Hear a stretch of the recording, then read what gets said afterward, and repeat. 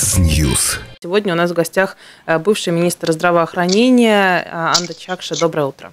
Доброе утро. Доброе утро. Э, скажите, пожалуйста, вот как вы оцениваете сейчас то, что делает вот нынешнее руководство Министерства здравоохранения? По вашему мнению, достаточно ли этих мер? Насколько то, что сейчас вот делается, способно остановить эпидемию? Или можно сделать еще что-то? Ну, я бы сказала так. Если мы смотрим на то, что происходит вообще в мире и, и тщательно в Европе, то мы видим, видим, что везде это очень-очень трудная ситуация и новая ситуация для всех систем. Э, ну, конечно, всегда э, сравнение э, легче как-то видеть, что происходит у нас. И я бы сказала, так так постепенно, как у нас появляются новые заболевшие, это очень хороший результат. Э, всегда хотелось бы что-то еще больше, но э, мне кажется, это не время для критики, это время для того, чтобы было ну, хорошее сотрудничество. И то, что я больше всего вижу, может быть, как такой немножко минус, что э, то, что у нас не действует э, во время не кризиса, не действует, конечно, и во время кризиса. И поэтому э, самый дольший период, наверное, был, чтобы отрасли э, начали работать вместе, но не каждая по себе. То, что изначально очень видно было, что здравоохранение работало одно, э, ну, пыталось покрыть полный, полную площадь, начиная с неотложной помощью, эпидемиологами, что не, не не начали работать и другие отрасли также. Может быть, потому что ну, здравоохранение более готово Э, к разным ситуациям, потому что ну, такие поменьше эпидемии, конечно, были и раньше. Ну, что вы можете сказать по поводу вообще работы? Она происходит активно, и там вот в воскресенье, например, вчера собирался кабинет министров, потом пресс-конференция, но, в общем-то, можно, можно увидеть, что э, у людей теперь нет выходных, наверное, у всех, в том числе у людей, которые принимают главное решение. Э, я думаю, что когда мы работаем вообще из дома и в таком онлайн-режиме, э, работа всегда немножко начинает быть такой, ну, все время работа. Но, конечно, при этой ситуации очень важно, что э, кабинет министров все время активный и э, собирается, когда это нужно, а не ждет, э, скажем, там понедельника. И все эти э, ну, э, заказы или все, что было принято, они очень важны как реакции на то, э, как реагирует общество или не реагирует на уже принятые меры.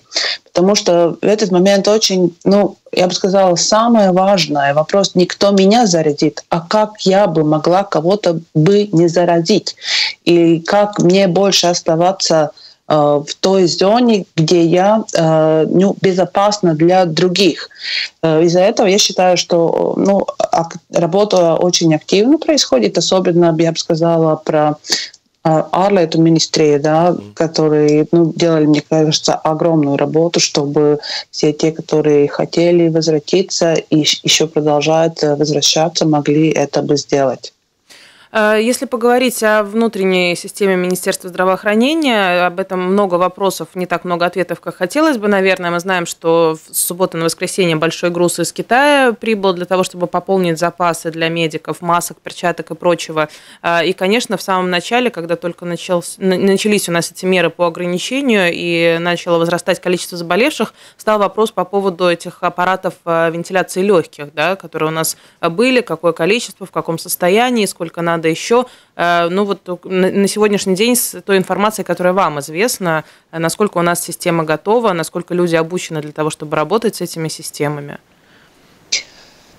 Ну, э, скажем так, у нас система, э, она готова, но ограничена на э, конкретный объем людей. То, что мы видим и в Италии, и в Германии, и также в Великобритании, э, при конкретном объеме одномоментных заболеваний все системы начинают э, ну, ломаться.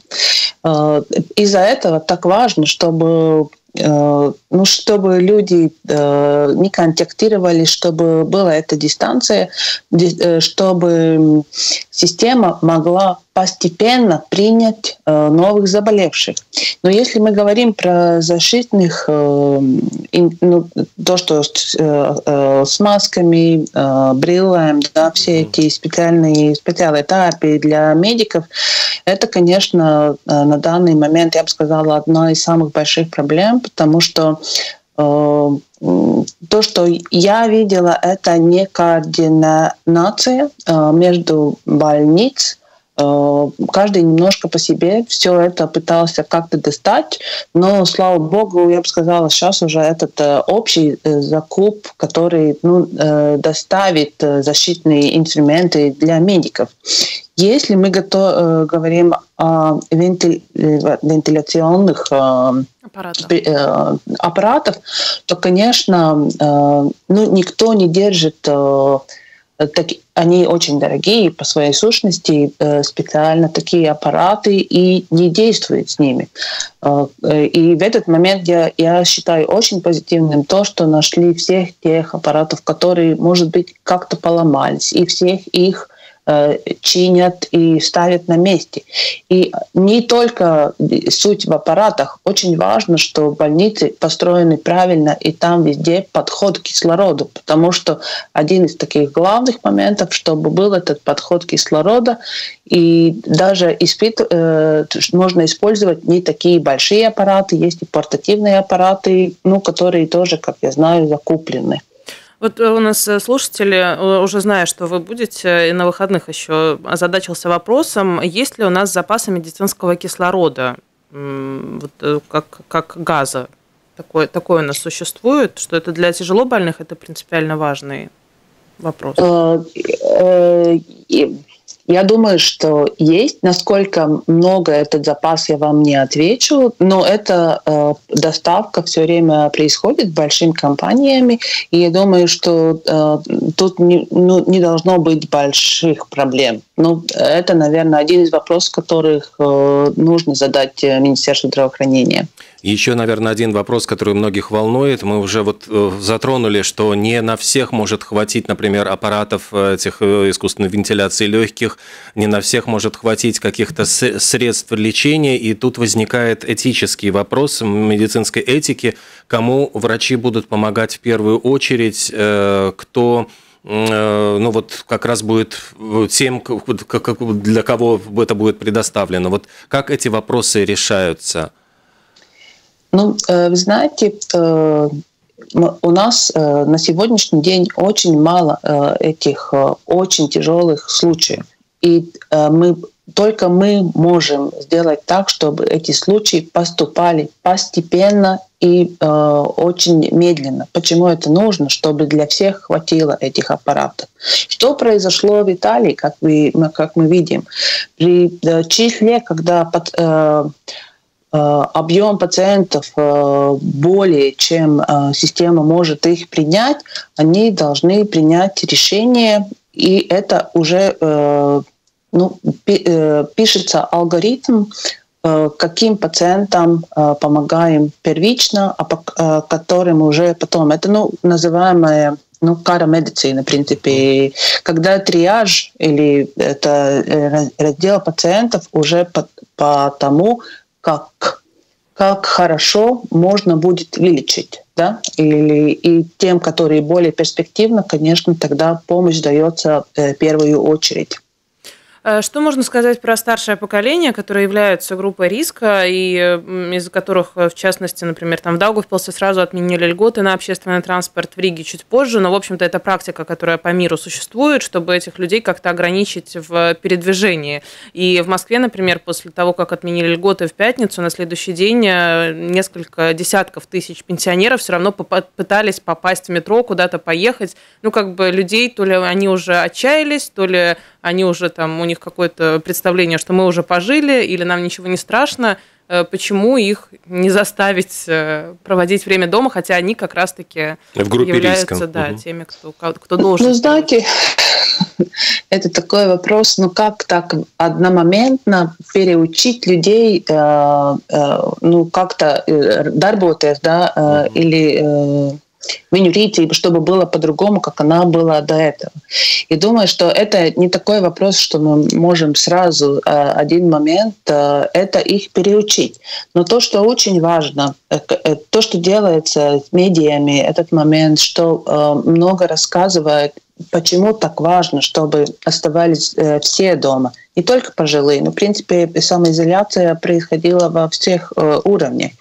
И тут э, через молодое поколение, которые не хотят, конечно, терять своих э, бабушек, дедушек. У нас, э, у нас тоже старая бабушка, которая мы вообще не заходим к ней. Мы несем только ну, продукты, оставляем перед дверью, и она сама никуда не выходит и, и только ну, получает продукты и за дверью.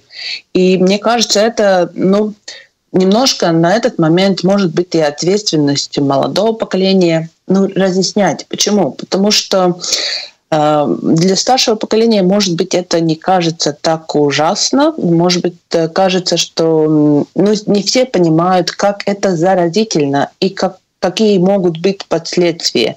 И я думаю, разъясняющая работа, но, конечно, она не работает так на миг. Жесткий карантин, вот, к которому постепенно, я понимаю, приходят многие страны, они э, после долгих колебаний все-таки принимают решения и при помощи полиции где-то в странах используют даже э, армию для того, чтобы заставить население сидеть дома. Вот насколько эта мера э, нужна Латвии, ну, как э, ограничение распространения действительно инфекции? Э, мне кажется, очень хорошо э, господин Перевозчиков разъяснял эти стадии, когда э, какие меры принимаются. И, конечно, очень трудно, ну, нет такого тщательного индикатора, вот на сегодняшний день мы уже закрываем, там, скажем, все, или мы еще что-то оставляем работающим. То, что, то, что важно, мне кажется, ну, со самого начала, что мы не так как будто отрезаем э, собаке этот хвост по, по маленькому кусочку, но э, если мы говорим, что нельзя э, вместе там идти в магазины или э, кинотеатр, то это сразу говорим, и люди очень четко понимают, что надо самоизолироваться и оставаться дома. Для нас, я думаю, то, что ну, мы многие все-таки живем, э, скажем, там за городом и э, ну, лауку районов, это э, концентрация людей меньше, из-за этого Конечно, мы немножко, ну, как по натуре защищены, но в больших городах, где концентрация людей побольше, очень важно, чтобы эти все э, ограничения были э, ну, tiktu ievēroti, да, чтобы люди все-таки, ну, не было такого высокомерия, что это меня как-то не касается. Это, может быть, на этот момент не касается тебя лично, но ты тоже ответственен за то, за то чтобы кого-то не заразить. Это очень важно, чтобы этот момент мы поменяли этот вопрос не кто, кто меня заразит, а кого я могу заразить. Из-за этого и все эти меры принимаются, чтобы ну, та часть, которая, может быть, не так хорошо понимает и не хотят принять, э, все-таки ну, оставались дома. Вот пришел вопрос к нам на СМС, эм, спрашивают, почему все-таки, э, поскольку у нас э, самое большое количество все-таки зараженных, это людей, которые, люди, которые заразились за пределами страны, при, и при, вот, при возвращении э, в других странах очень жестко сразу же сажают на карантин этих людей, и это очень жестко контролируется. У нас ну вот э, слушатель во всяком случае пишет, что э, люди многие спокойно совершенно отправлялись в торговые центры, ну, приезжая в Латвию за границей, отправлялись затовариваться продуктами в торговые центры, и таким образом, если человек вот был инфицирован, он мог совершенно спокойно заражать других людей. Почему это не контролировалось достаточно жестко? Ну, тут я могу согласиться это началось делать слишком поздно, потому что ну, уже последние день, дни это контролируется более жестко. Но надо помнить, что это э, новая ситуация для, всей, для всех. И, как я уже говорила, я думаю, что это сотрудничество между, между отраслями, а, может быть, не сработало так хорошо и сразу, как бы хотелось, потому что ну, мы не можем спрашивать, чтобы все сделала э, система здравоохранения. И немножко это, ну, мне кажется, сразу не сработало. Сейчас это происходит, но я согласна, это могло быть э, жестче, но из-за этого все равно не отменяется то, что сейчас мы должны все э, сидеть дома. Ну, об этом, кстати, вот сегодня с утра уже э, главный инфектолог Министерства здравоохранения Уга Думпис, наверняка вы тоже с ним знакомы, э, как раз да. сказал, что если большая часть будет э, соблюдать эти правила, то, во-первых, полиции будет легче контролировать того, кто не соблюдает эти правила, ну и, в общем-то, все, вся ситуация, ну, не, не, не будет, наверное, более строгих правил, если мы уже существующие будем, будем соблюдать. Да. Конечно, это, это уже изначально мы могли вообще более э, таких ограничений не вставлять, если мы как э, индивидуальности понимаем, что э, надо соблюдать уже сказанное. Но так как вы видели, это не все соблюдается, то, конечно, жестче начи- ну, становится и правило. Я, я просто хочу сказать, что распространяются сейчас по интернету, и я сам видел, что моим знакомым приходили, они говорили всевозможные видео. Вот люди, которые э, практически отрицают, скажем, существование коронавируса и говорят, что э, это все фейк, это все попытка э, создать тоталитарное общество вот с контролем. Ну, то есть вот такого рода идут вбросы информации. Вот еще раз, вот, ну, может быть, для тех людей, которые вот готовы поверить таким, что можно ответить? Ну, я начну, наверное, наверное над всеми ну, какими-то событиями есть такое э, дуаль, ду, дуальное мышление. Даже если мы говорим про вакцинацию, у нас есть люди, которые серьезно верят, что вакцинация это плохо. Э, и также в этот момент, когда э, появился новый вирус, э, тем, как, ну, скажем так, трудно принять, что э, такое может произойти, они э, ну, как бы конструируют для себя такую защиту, и э, появляется ну,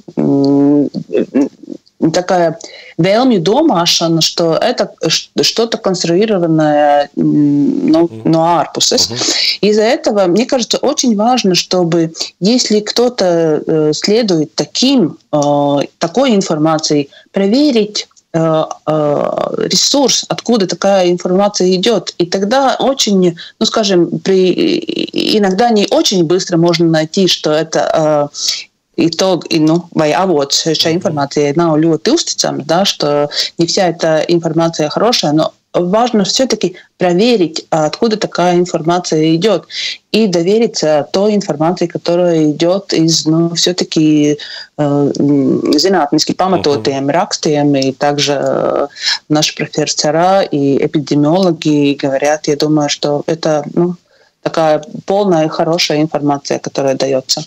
Возвращаясь к правилам, чуть-чуть еще хотела уточнить у вас ваше мнение. Э, как быть? Наверное, многих людей просто смущает та ситуация, что вроде как просят, например, не выходить, не ходить в общественные места, при этом, например, торговые центры на неделе все-таки открыты. Или там какие-то кафе, рестораны, большая часть, конечно, закрыты. Сейчас мы видим поток э, доставки домой всевозможной. Но все-таки есть рестораны, которые открыты, и как бы у людей может быть тоже такое двоякое мнение. Вроде как надо сидеть дома, но вроде как не закрывают же, значит, вроде как и можно. Ну да, трудный вопрос. Э, ну, скажем так, э, на э, то, что мы видим, если из семьи один идет в магазин, то это все в порядке. Но э, все-таки люди все же продолжают идти с семьями. Э, даже продуктовые магазины, и как-то кажется, что самое главное, что мы можем делать, это развлекаться и это время в магазинах. И также я думаю, что есть рестораны, которые открыты, потому что есть люди, которые продолжают работать, и они должны работать, и из-за этого может быть ресторан открыт чтобы э, готовить и э, эту доставку домой э, вести. Если кто-то там один-два заходит, я думаю, что это ну, не, не самый большой грех, но в принципе я думаю, что больше эти рестораны и кафе открыты из-за того, что они работают, чтобы доставить эти продукты. Но одно, одна вещь, может быть, люди, конечно, выходят, потому что это очень большая эмоциональная э, нагрузка. И из-за этого я думаю, что надо использовать... Э, есть телефоны, где э, телефоны кризиса, где можно позвонить и ну, э, поговорить об этом, потому что не все, конечно, рады, что сейчас э, должны сидеть дома вместе с семьей, с детьми, что в таких моментах, э, скажем так, очень трудно. И из-за этого я немножко ну, на этот момент боюсь про насилие, про насилие в семье, про насилие над детьми, которое может произойти при такой очень большой эмоциональной загрузке. У нас есть звонок. Я напомню, что телефоны в студии 67212 93 9, 67213 93 9. Доброе утро, пожалуйста. Ваш вопрос. Алло. Когда я... Алло.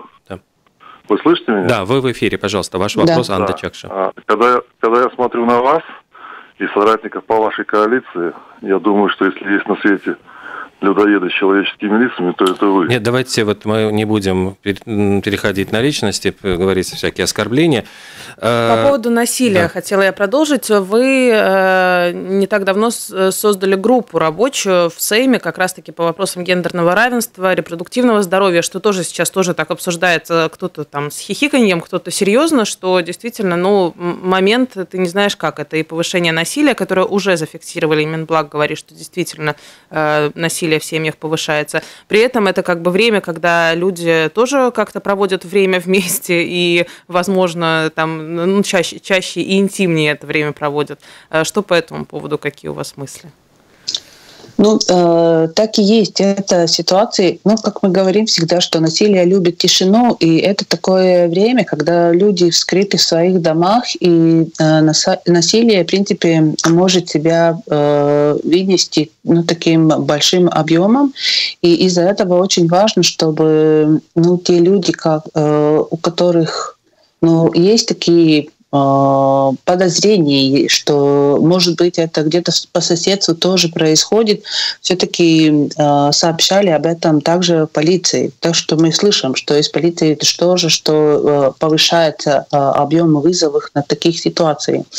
Э, то, что, то, что эти люди э, могут звонить и кризисный центр Скалбес, и, э, и центр Марта, где есть помощь и по телефону, и есть вариант, как ну, выбрать опору или и вынять из семьи, чтобы не было такого.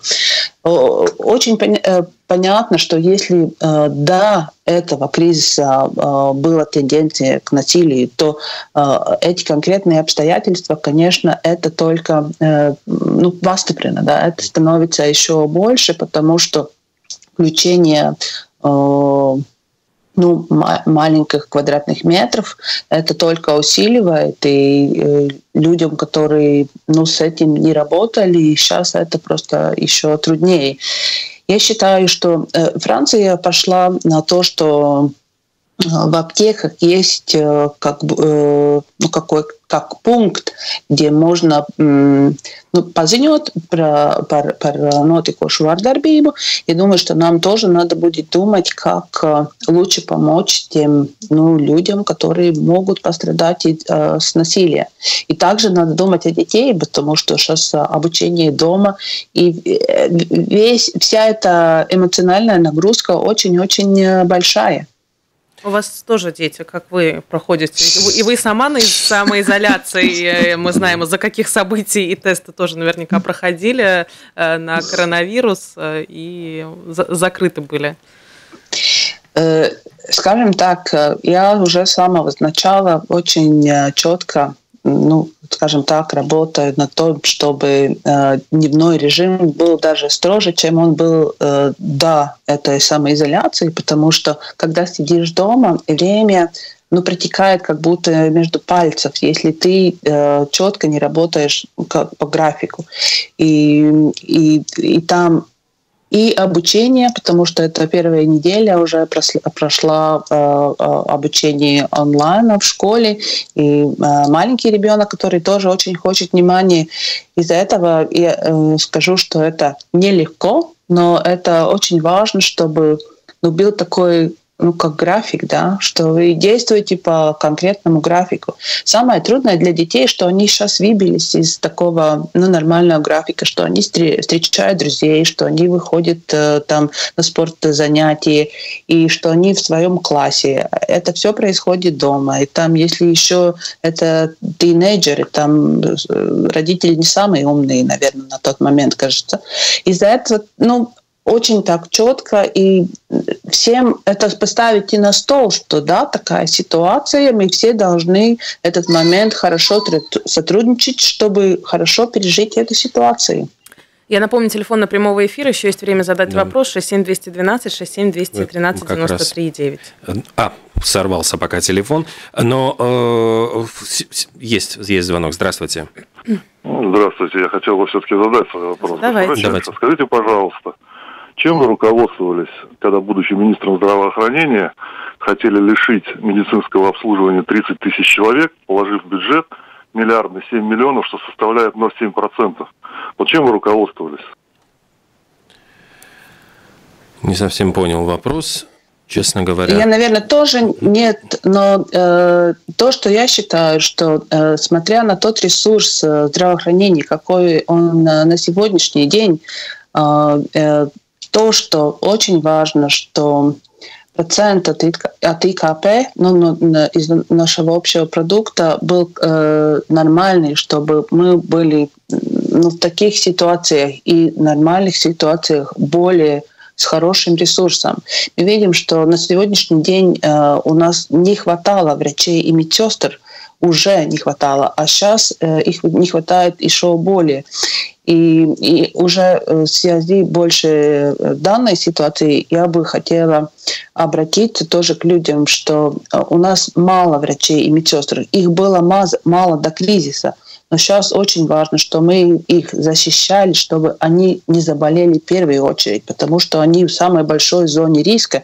И если мы ну, не рассказываем правду, и если мы ну, э, иногда хотим его видеть, а не позвонить по телефону, то мы, мы можем быть этим очагом, который заболевает э, или переносит инфекцию к врачам, а там это распространяется, и потом уже очень многим людям не будет кто нас лечит. Это та ситуация, которую мы в Резекне видели. Один врач, который за собой несколько потащил.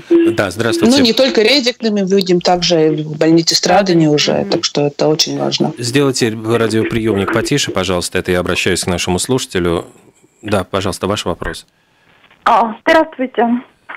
А, скажите, пожалуйста, что делать тем, тем людям, которые не могут э, выходить, э, потому что в зоне риска и больны, и а, кто им принесет, если некому им принести?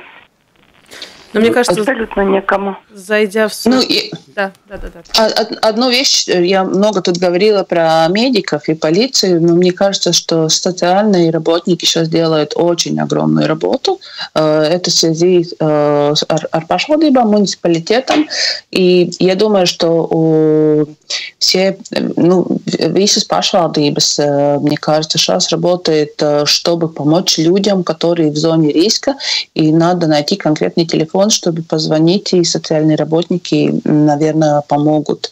Есть сейчас и э, общество волонтеров, которые тоже помогают и подводят э, и э, еду и все, что нужно. Я назову номер э, Рижской думы, э, Департамента благосостояния 840 820. Э, это телефон, по которому можете звонить, и как раз-таки на все эти вопросы вам там ответят. Был вопрос еще по СМС. Спрашивают, появятся ли все-таки в свободной продаже маски, которые вот все время были дефицитом, потому что, ну, пишет нам слушатель, его даже пугает, что продавцы в крупных торговых центрах все равно сидят без масок, а ведь, ну, они находятся тоже на постоянном постоянном потоке людей, любой, э, кто чихнул на них, заразил, и дальше они начинают заражать уже по цепочке все, кто проходит мимо. То есть вот этот вопрос он. Да, это нехватка защитных э, масок. Это, это очень трудный вопрос. Э, конечно, очень важно, чтобы вся защитная защита была для медиков, для полицейстов, для, для социальных работников, но также для продавцов. Э, конечно, сейчас это новая доставка, насколько я понимаю, больше идет на, на медицинских работников. Но, э, скажем так, для тех, которые ну, как, э, как э, жители идем в магазин, мы можем использовать э, любые маски, которые хотя бы сдерживают это, это наше чихание. Но я думаю, что недостаток недостаток масок это не только у нас, мы как видим, это очень трудный вопрос во всем, во всей Европе, и, конечно, я не могу сказать, что они будут так легко ну, доступны а, в ближайшие дни. А, вопрос по поводу зарплат у меня. А, вот сейчас достаточно быстро приняли решение, что на 50% будет надбавка тем, кто на первой линии фронта да, в помощи. И, в общем-то, нынешняя глава Минздрава Илза Винкел говорит, что этот вопрос не оставит и будут решать а, в том порядке, в котором было задумано по поводу 20%. Может ли тут что-то измениться кардинально, быстро принимать решения? Потому что мы сейчас видим, что, ну, грубо говоря, не на тех ставки делали до этого. Э, да, а то, что, как я говорила, я считаю, что э, общий объем финансирования для здравоохранения недостаточен, недостаточен и очень долгие годы было недостаточен. И, э, но этот данный момент, мне кажется, решение про ну, по пемаксам был очень правильным, потому что, конечно, несмотря на все, мы общие лодки, чтобы у нас очень большая часть э, людей сейчас остается вообще без зарплаты, возможно. И из-за этого эти изменения, чтобы они могли получить 75% из э, своей зарплаты, ну, не более 700 э, евро. Но после кризиса я считаю, что и при восстановке экономики, конечно, этот вопрос опять, я бы сказала, как приоритет на столе, потому что я всегда была о том, что Э, здравоохранению должно быть нормальное финансирование. И это значит и зарплаты, и для медикаментов, и для того, чтобы пациенты могли получить свои, свое лечение. У нас есть звонок. Здравствуйте. Пожалуйста, ваш Доброе вопрос. Утро. Да. Э, госпожа Чакша, ваш коллега и в то же время председатель профсоюза медиков, там, господин Керис, выдал как-то фразу «Латвия скоро превратится в страну э, с хорошо охраняемым кладбищем». Вот. Как мне кажется сейчас, э, вот это первый звоночек о том, что надо меньше всего думать как бы сказать, о том, чтобы покупать ржавую э, военную продукцию, а думать о том, как будут жить люди здесь вот сейчас. И когда вы говорите, что у нас нехватка врачей, то, э, то есть медсестер врачей, нехватка, нехватка, так об этом вот этот вот господин Керрис и все время говорит, и все остальные... Да, а ваш вопрос вот какой?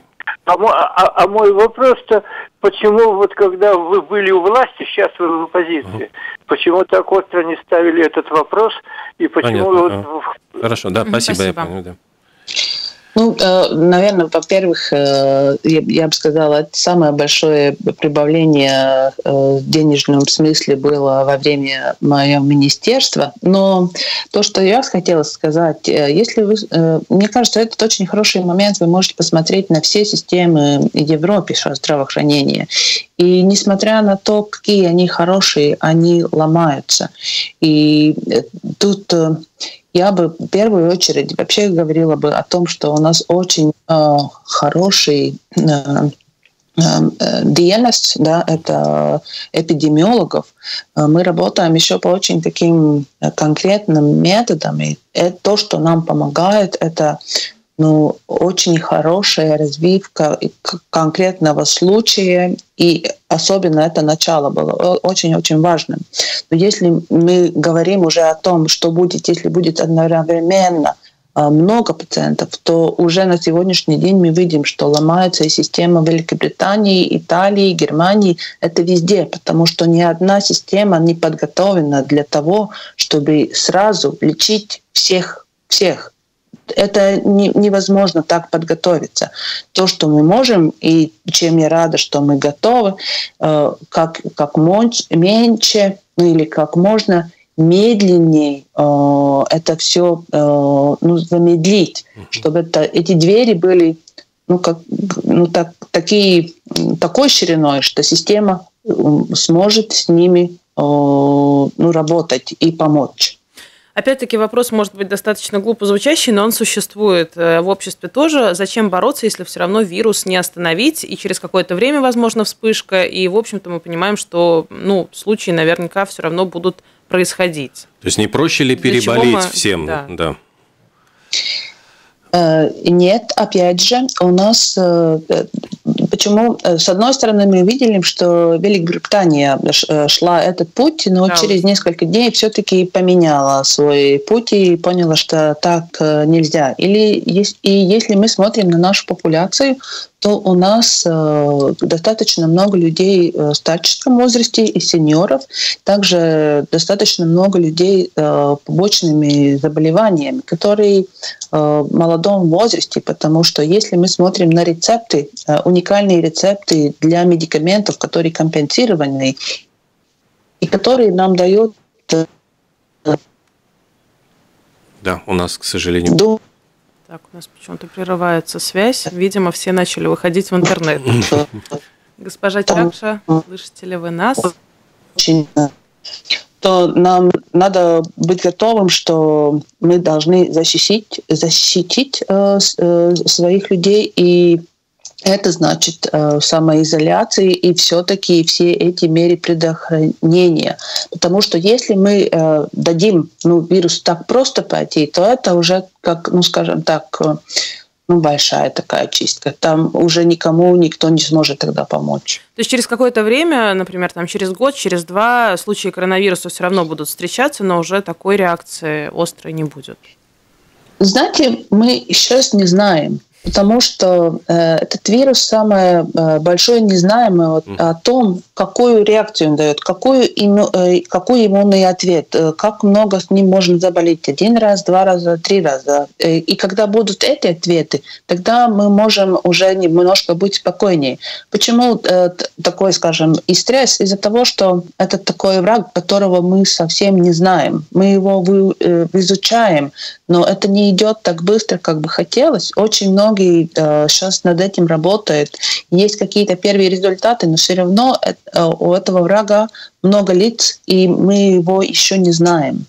Вот буквально э, вчера Трамп, по-моему, выступал, обращался к нации, и у него прогноз был, что все-таки к июню э, ситуация должна нормализоваться. Вот как вы считаете, это ну, попытка успокоить или, в принципе, есть надежды, что летом э, вспышка заболевания пойдет на спад? Ну, мне, я, я бы не хотела такие прогнозы делать, несмотря на то, что происходит в Америке. Я, я сочувствую, сочувствую, потому что я вижу, что э, там болезнь распространяется очень быстро, и система очень не готова, не готова чтобы помочь э, людям.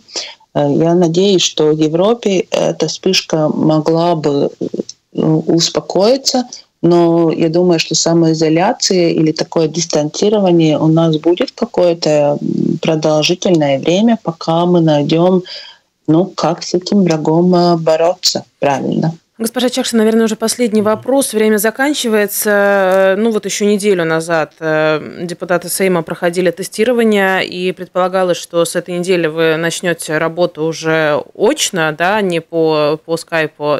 Какие прогнозы на сегодняшний день с учетом введенных ограничений 2 на 2, и какие вам даны рекомендации? Встретятся ли депутаты вновь очно, или все равно это будет продолжаться с помощью скайпа, зума и прочих платформ? Сейчас э, все мысли о том, что все-таки мы будем дистанцированно э, говорить и, и ищется э, вейди или Спасибо, как мы можем работать дистанцированно, не идя вместе, потому что все-таки мы тоже каждый ответственен за то, что не зарядить другого, и также подвергаемся тем тем Риском. Что все власти введено сейчас. Спасибо, Спасибо вам. бывший министр здравоохранения, ныне депутат Сейма Анда Чакша. Здоровья вам. Всего хорошего. Всего доброго. Спасибо, здоровья вам. До свидания.